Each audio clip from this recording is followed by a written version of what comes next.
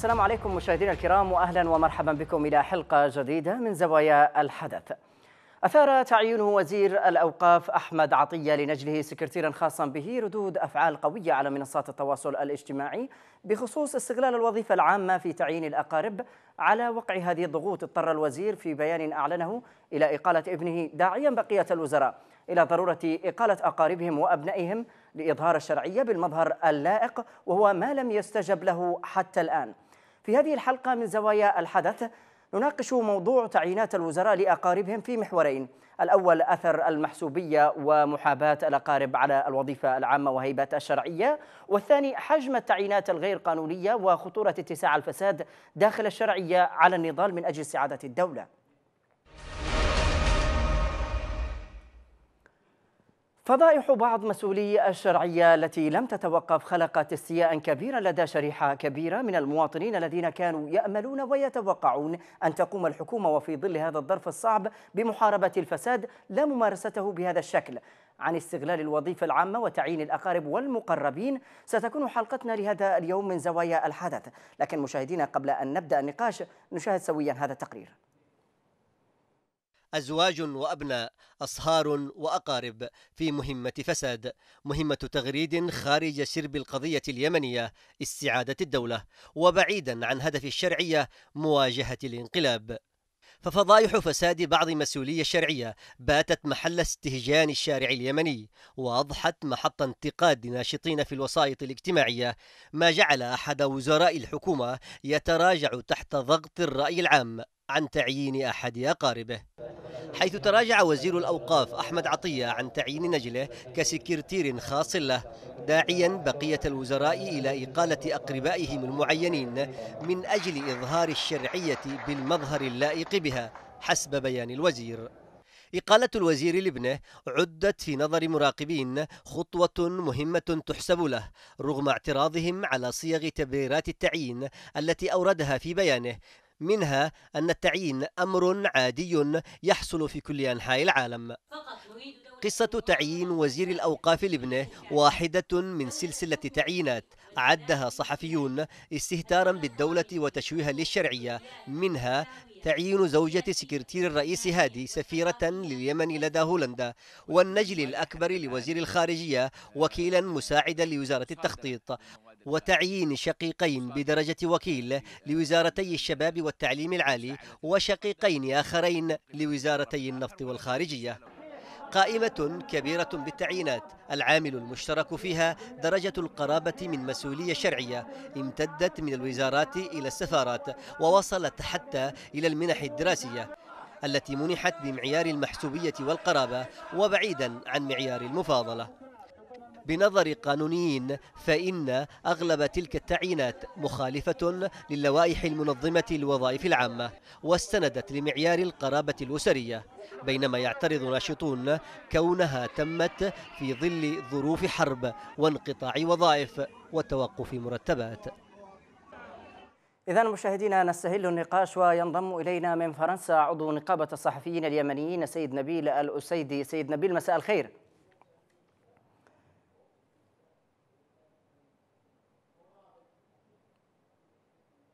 سيد نبيل هل تسمعني؟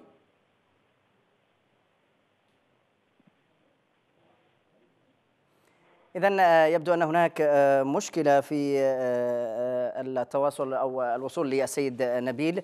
حتى يجهز الاتصال يعني هناك الكثير من الفساد ظهر مؤخرا في يعني الشرعية التي كان يفترض بها أن أن تكون هي الفاعلة في ممارسة أو مكافحة الفساد. لكن ما تبين هو عكس ذلك بحسب الكثير من الأنباء والكثير من التقارير التي تتحدث عن قوائم وأسماء من أسر وزراء ومسؤولين في الشرعية استولوا على أو تم تعيينهم بمناصب كثيرة. وهذا فساد بات واضحا يعني تم ممارسته من قبل بعض الوزراء والمسؤولين في الشرعية. إذا مشاهدينا عاد إلينا عضو نقابة الصحفيين اليمنيين السيد نبيل الأسيدي. سينضم إلينا من فرنسا. سيد نبيل مساء الخير. مساء النور والعافية. أهلا بك سيد نبيل برأيك يعني ظاهرة استغلال الوظيفة العامة وتعيين الأقارب والمقربين في مناصب عليا لاقت ردود فعل قوية على شبكات التواصل الاجتماعي، ما أثر ذلك على سمعة الحكومة الشرعية؟ آه، اولا نحب التذكير بأن ثورة الحادي عشر من فبراير هي قامت ضد التوريث وضد الحكم العائلي وكان هذا احد أبرز أهداف الثورة الشبابية السلمية. ولكن للأسف آه، الحكومة الشرعية جاءت لتدمر هذا الهدف رغم أنها تمثل الثوار وتمثل الشرعية نعم. لكنها جاءت لتدمر هذا الأمر بشكل فج وأعادتنا إلى ما هو أسوأ من التوريث العائلي التقرير الذي ذكر آه، رصد العديد من من التعيينات لأنقال وأقارب آه، المسؤولين من الدرجة الأولى لكن هناك أيضا عشرات التعيينات صدرت والتي استطعنا الحصول عليها بينما أيضا هناك عشرات من القرارات ما زالت مخفية. آه، آه، هم يعرفون أنهم يرتكبون جرما في حق الوظيفة العامة وفي حق الدولة وفي حق الشرعية. ولذلك يخفون مثل هذه القرارات إذا كانوا آه، يعني آه، آه، مثل ما يقولون في تبريراتهم أن أولادهم مواطنين يمنيين ومن حقهم الحصول على المناصب أو المنح الدراسية اليوم في في المغرب المسؤولين في السفارة يستولون على المنح الدراسية للطلاب أيضا في القاهرة.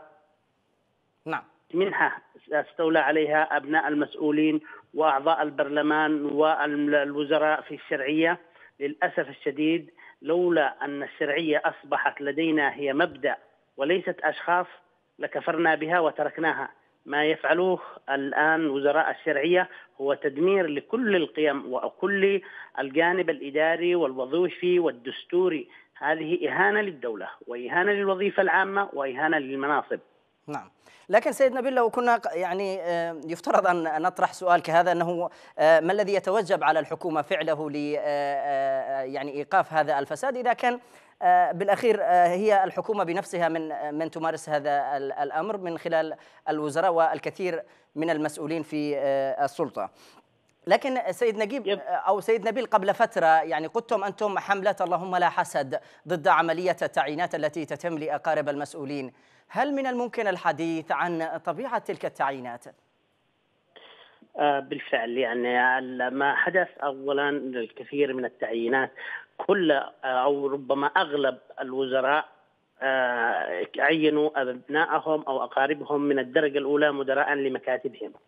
الام هذه كانت المرحلة الأولى، المرحلة الثانية تم الانتقال لتعيينهم في السفارات في الخارج وأيضا تعيينهم في مناصب عليا في الدولة. نعم. آه، آه، مثل وكلاء الوزارات والنواب للوزراء وأيضا بدرجات المدراء العموم. مكتب بن دغر فيه 36 شخصا أغلبهم أبناء الوزراء. أصبح مجلس الوزراء آه، آه، يعني إدارة مكتب بن دغر كلهم من أبناء الوزراء.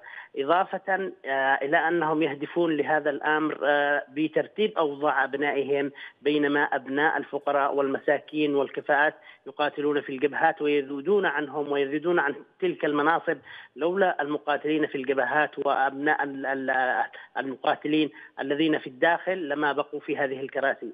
آه هذه صحيح أن التأثير أمام حكومة هي من تقوم بهذا الاختراق الكبير والتدمير الممنهج للوظيفة آه يعني يجعل الأمر صعبا. يعني رغم الحملات التي تتالت ورغم أن أصبحت قضية رأي عام إلى أنهم يضعون آه، اذنا من طين وأخرى من عجين. هم يعرفون أن آه، أنهم بيدهم السلطة وبيدهم الآن القرارات التعيين وبالتالي لا يلتفتون لمن لمن يتحدث. لكن نحن نعدهم بأننا لن نسكت وهذه القرارات يجب أن تسقط. هناك حملة جديدة هي قيل أبناء الوزراء والمسؤولين من مناصبهم. كان آخرها وزير الأوقاف الذي تنازل عن القرار آه، بتعيين نقله نعم. رغم انه أن تبريراته كانت يعني غير مقنعة ولكنه آه، رضخ لهذه الحملة وتنازل ودعا بقية الوزراء. وهذه جملة مهمة جدا. دعا بقية الوزراء بإقالة أبنائهم والتنازل عن المناصب التي استلموها. لكن للأسف هناك وقاحة شديدة من الوزراء وب يعني أسرة لديها ثلاثة إلى أربعة أشخاص معينين في مناصب في الدولة. آه، ثلاثة أشقاء آه، يعني محافظا لصنعاء ونائبا لوزير النقل ومديرا لشركة النفط كلهم من آل الشريف. المشكلة الآن هي أكبر. كل شخص أنا أتحدى أي من الوزراء لم يعين ولده أو قريبه. الأمر الأهم هم يستهدفون الحصول على رواتب عالية، الرواتب العالية هذه التي تصرفها المملكة العربية السعودية نعم. آه، وتصب في جيوب أبناء المسؤولين وأولادهم. أصبح الآن دخل آه، بعض الأسر في الشرعية لا يقل عن 30 إلى 40 ألف دولار شهريا من الرواتب فقط. نعم. تخيل أن يكون لديك ثلاثة وكلاء كل منهم راتبه 5 إلى 6 ألف دولار. نعم. لكن سيد, سيد نبيل آه هذه الخطوة ربما لا خلاف عليها أنها فساد واضح لكن الأسوأ من ذلك قد يكون أيضا أبناء هؤلاء المسؤولين يعني لا يملكون حتى آه، خبرات أو مؤهلات تؤهلهم لوظائف كهذه من غير أن آه، يعني الفساد الذي هو بحد ذاته أن يتم تعيينهم في بعض المناصب. يعني كفاءتهم الوحيدة أنهم أبناء وزراء وأبناء مسؤولين هذه الكفاءة الوحيدة التي لديهم. يعني ذكروا لي شخصيا أو مؤهل وكفء يعني حينما يتحقق الوزراء بأن أو المدافعون عنهم والمطبلين لهم بأنهم أكفاء آه، هل ظهرت الكفاءات الآن كلهم أولاد الوزراء والمسؤولين هم الكفاءات في هذا البلد؟ نعم. هل هم الوحيدين الذين يستحقون المنح الدراسية في في الصين وفي الهند وفي مصر وفي المغرب وفي أمريكا وفي ألمانيا كل السفارات الآن تحولت إلى آه، نسيج عائلي واضح ليس لديهم أي كفاءات بل أن كل كل الموظفين الذين توظفوا في الخارجية هم من أبناء الوزراء ليس لديهم أي علاقة بالخارجية بما في نعم المعني المعني نعم. بحماية الخارجية وحماية الدبلوماسية لكن ما يحصل الآن تدمير للدبلوماسية هناك الآن 300 قرار أمام لجنة السلك الدبلوماسي بينما المستحقين من أبناء الخارجية آه، مرميين في الداخل وفي الخارج آه، دون أن يلتفت إليهم أحد.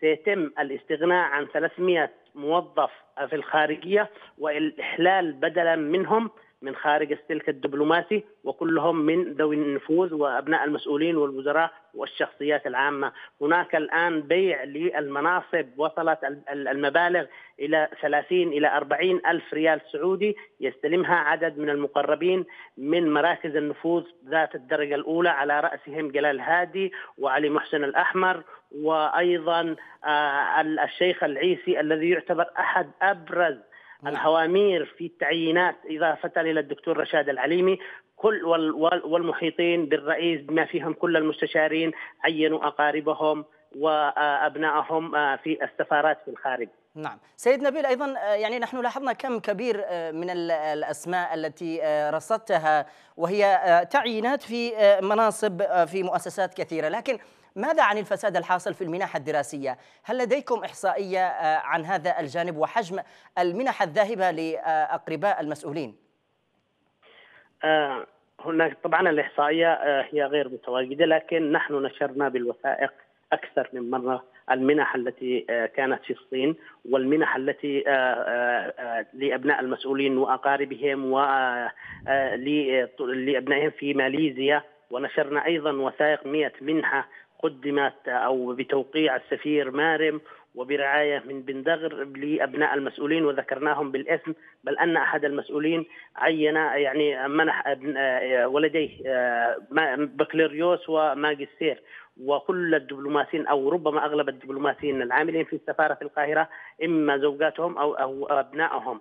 أيضا في المغرب في ألمانيا نشرنا أيضا كشوفات في كندا آه، للطلاب الذين لديهم منح وأغلبهم أبناء مسؤولين ووزراء ونافذين. إضافة إلى أن التعيينات التي ذكرت يعني آه، لديكم الكثير يعني أسرة آه، بن دغر وأسرة جباري وأسرة المخلافي وأيضا أسرة جامل وأيضا آل مجلي وأيضا. مجلي. كل هؤلاء آل الشريف أيضا بقيه الوزراء وزير الصحة نقله ملحق طبي في قطر مستشار نعم. الرئيس أيضا وزير النقل زوجته وكيلة لوزارة حقوق الإنسان نعم. الكثير من التعيينات و يعني وزير التخطيط والتعاون زوج ابنته مديرا لمكتبه من كان يعني ليس لديه ولدا عين زوج ابنته أو بل أن هناك من الوزراء من عين أبنائه في أكثر من وظيفة في الإغاثة في في أيضا في مكتب رئيس الوزراء للحصول على أيضا حتى مراسم رئاسة الوزراء عين يعني مسؤول المراسم في رئاسة الوزراء عين ابنه مساعدا له. نعم. إذا سيد نبيل أستسمحك بالبقاء معي قليلا. سينضم إلينا الآن أيضا الناشط السياسي همدان الحقب سينضم إلينا من أول مرحبا بك سيد همدان. أهلا وسهلا فيك مساء أهلا بك سيد همدان. انشغال بعض مسؤولي الشرعية بمصالحهم الشخصية ما تأثيره على المعركة الرئيسية مع الانقلاب؟ آه ولا شك أن ممارسة مثل هذا السلوك له أثر بالغ السلبية على الشرعية وعلى أدائها ويستهدف يعني بدرجة أساسية آه ثقة الناس وثقة الناس بقياده الشرعية وبما تقدمه وبالمستقبل الذي تبشر به. يعني لابد من التنبه إلى هذا الأمر بالقدر نفسه الذي يتم الذي يتوجه فيه التنبه للانقلاب يعني لأن الناس صاروا على قاعدة تغيير هذا الواقع السلبي الذي الذي كان ينهش اليمن.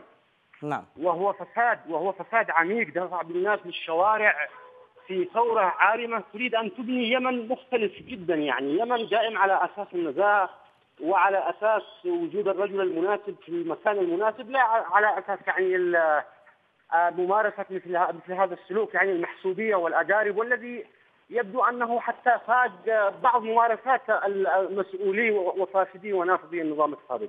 نعم سيد يعني همدان يعني بينما يناضل اليمنيون في الجبهات و نجد أيضا تفرغ كامل من بعض الوزراء والمسؤولين لتعيين أقاربهم، أيضا هناك موظفين منذ أشهر بدون مرتبات، بعثات دراسية خارج البلد من دون اعتمادات حتى الآن وتجد يعني مسؤولي الحكومة متفرغين بشكل كامل للبحث وراء وظائف وتمكين أبنائهم في مفاصل الدولة.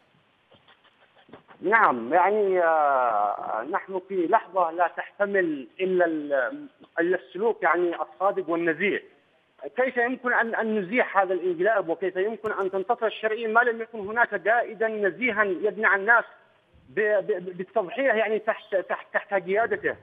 الناس تفقد ثقتها يوما بعد آخر بهؤلاء الوزراء خصوصا وهم يرون مشاكل اليمن كما ذهبت تماما. مشاكل طلاب اليمن في الخارج يعني هم أشبه الآن بالمنفيين لا يجدون ما ما ما يأكلونه ويتلكؤون كل التلكؤ في إيصال أبسط مستحداتهم التي تعينهم على على على استكمال الدراسة ولا يملكون حيال هذه الملفات إلا أن يقدموا المغالطات التي تدعي أن الشرعية ليس بين يديها ما يمكن ان أن تقدمه لهم بينما يجدون ما, ما ينفقونه على سفرياتهم وعلى توظيف أبنائهم ولا تنقطع هذه المرتبات. حتى يعني النفريات وبدل السفر موجودة وهناك معلومات يعني تؤكد هذا الكلام. فيعني هنا معادلة مختلة بين قيادة يفترض بها أن تقود البلاد نحو الانتصار نحو ترسيخ دعائم الدولة الجديدة دولة بلا فساد دولة ناهضة دولة مؤسساتية يعني تمارس سلوك فاسد ينبي على أن هؤلاء لا لا يمتوا بانتمائهم إلى الشارع اليمني الذي ثار ولا يمثلون استحداثاته وقضاياه العريضة الذي يقدم في سبيلها دماءه رخيصة يعني بينما نعم. هؤلاء يمارسون نعم تفضل. نعم شكرا لك سيد همدان الحقب. كنت معنا عبر الهاتف. أعود لضيفي الآخر سيد نبيل الأسيدي. سيد نبيل هل الحملات يعني ضد هذا الفساد يعني أدى دوره أم أنه كما يقول البعض معركة جانبية؟ هم يحاولون تصوير يعني الحديث عنهم وانتقاد الناس لهم لتعيينهم بأنكم يعني تحرفون مسار القضية وأن لدينا أولويات. يعني دعني أدافع عنهم يعني أقول بلسانهم ما يقولوا بأنه نحن أمام معركة أمام الحوثيين والإنقلابيين وضد الشرعية وهذه معركتنا الرئيسية وأيضا إنه ليس لدينا من طاقم إداري وبالتالي نحن نستعين بهم. وأيضا والمعركة تتجسد يعني سيد نبيل المعركة تتجسد يعني في تمكين أبنائهم في مؤسسات الدولة يعني أم ماذا يعني؟ هذه مبرر هذه المبررات التي يطرحونها لكنهم بالفعل يعني يعرفون أنهم يرتكبون جرما ولذلك يخطون القرارات ويعني ما خرج من القرارات إلى الآن وما نشر من القرارات لا يساوي يعني أقل من 20% من القرارات التي منحت والتي ستمنح والتي تم توقيعها. حتى الآن هناك قرارات منحت وهم في بيوتهم يستلمون الرواتب شهريا وبشكل منتظم ورواتب عالية بالإضافة إلى جرائم أخرى ترتكبها الشرعية وهي المتاجره بالمنح الطبية والعلاجية، الكثير من اليمنيين لديهم أقارب جرحى وكانوا في الجبهات يعني وآخرها ما نشرناه من فضيحة المتاجرة بالمنح العلاجية من القبل الملحقية الملحقية الطبية في الرياض والتي يعني نائب الملحق مساعد الملحق لديه مكتب للطبي لإرسال الجرحى إلى الهند ومتعاقد مع المستشفيات وهو أيضا يعني مساعد ملحق طبي. يعني بالدستور بالقانون كيف يكون لديك عمل تجاري وأنت موظف دولة. الدستور نعم. يمنع هذا الأمر. الوثائق بالوثائق التي نشرت في هذا تدين وتدين الملحقية الطبية برئاسة محمد السعدي وأيضا خالد سفيان. ومنعتهم من دخول مركز الملك سلمان. وهناك وثائق يعني من الجهات السعودية تخاطب رئيس الوزراء بأن هناك مخالفات وأن هناك تلاعب بالمنح الطبية ووصلت الجهات السعودية الكثير من الشكاوي في هذا الجانب. تخيل أنهم وصلوا إلى هذه الدرجة من الوقاحة. نعم. لكن يا سيد نبيل يعني سيد نبيل يعني هل هل يعني من خطوات يمكن اتخاذها لإيقاف هذه المهزلة؟ أم أننا نتوقع منهم أن يتراجعون عنها خصوصا مع تراجع وزير الأوقاف عن تعيين ابنه ويعني قام بكتابة بيان يدعو أيضا بقية الوزراء للتراجع عن هذا التوجه. لا أعتقد أن لديهم من الشرف ما يكفي للتوقف عن عبثهم بل يعني أو التراجع عن قراراتهم أو عن يعني قرارات تعيين أبنائهم. اذا ما هي الإجراءات التي يجب اتخاذها لإيقاف هذه المهزلة؟ حينما تعود الدولة سيتم رفع قضايا في المحاكم الإدارية لإبطال تلك القرارات، هذا حق دستوري نعدهم بأننا سنواصل هذه المرحلة حتى نهايتها إلى الآن طبعا حينما تضع وهل الدولة ستعود بوضع كهذا وستعود على أيديهم بهذا الوضع؟ لن إذا إذا ظلوا على هذا الدولة الدولة لن تعود أبدا لكن لكن نحن مؤمنون بأن الدولة قادمة قادمة مهما عبثوا. يعني الآن أمام نحن أمام كارثتين صراحة. أمام كارثة انقلابيين دمروا الوظيفة العامة وجرفوها في الداخل واستولوا عليها بقوة السلاح. لكن تلك ميليشيات والميليشيات ليس لها أعراف أو قوانين وكل ما يصدر عنها ليس له أي أساس قانوني. وهؤلاء دمروا ما تبقى تحت مسمى شرعيه طبعا وهذا وهذا الأمر الأخطر. أنت دولة هذه الشرعية تمثل الدولة تمثل تمثل الشعب اليمني اللي اختارها ووقف معها وحارب من أجلها. وبالتالي يخذلونهم بمثل هذه الأعمال أيضا هناك نقطة أخرى أحب يعني التنبيه لها يعني نعم. الأشخاص الذين. الذين وقفوا معهم في الشرعية والذين تم إزاحتهم من وظائفهم من قبل الانقلابيين مثلا نواب وزراء وكلاء وزارات نعم. آه الحوثيين آه طردوهم من الوزارات وأخذوا عليهم المناصب الشرعية ماذا فعلت لهم؟ نعم. بدلا من أن تقول لهم تعالوا واستلموا مناصبكم لأنكم تضررتم ووقفتم مع الشرعية وطردتم من وظائفكم ماذا فعلوا لهم؟ أخذوا منهم المناصب ومنحوها لأبنائهم. نعم. لديك أمثلة كثيرة أضرب لك مثل يعني نائب وزير الإعلام في حكومة الوفاق. نعم. آه يحضرني اسمه الآن الآن عينوا بداله 12 مدري 15 وكيلا ونائبا بدلا أن يقول أنت تضررت من أجل الشرعية تعال واستلم مهامك واعمل. لكنهم أخذوا حتى من كانوا من أخذوا مناصب من لمن هم معهم. نعم. الهدف الرئيسي يا صديقي هو الرواتب العالية التي يحصلون عليها. الشعب اليمني إلى الآن سنة بدون رواتب وهم يستلمون رواتبهم شهريا. هل تعرف كم رواتب وكلاء وزارة الإعلام؟ مئة ألف ريال سعودي. نعم.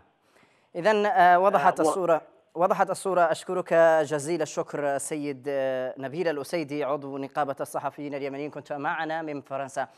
مشاهدينا بهذا القدر نكتفي ويعني باتت الصورة واضحة. فساد كبير تمارسه الشرعية في مؤسسات الدولة من خلال التعيينات للأقارب. والمقربين من الوزراء والمسؤولين في هذه الشرعية. إذا مشاهدينا أشكر ضيوفي أشكر السيد نبيل الأسيدي والشكر أيضا لهمدان الحقب الناشط السياسي. وفي الختام تقبلوا تحياتي وتحيات معد الحلقة زميل الزميل عبد الرقيب الأبارة وهي أيضا من جميع أفراد طاقم العمل. حتى نلتقي في حلقة قادمة. أترككم في رعاية الله.